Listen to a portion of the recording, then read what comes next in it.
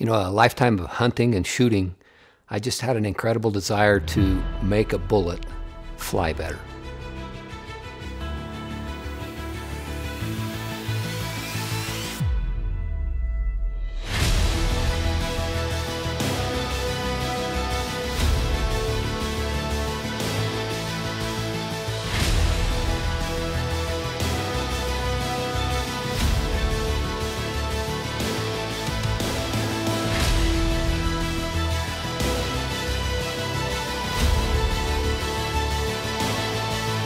As a bullet travels down the barrel, it's touching the, the riflings and the lands, and that's what causes the spin of the bullet.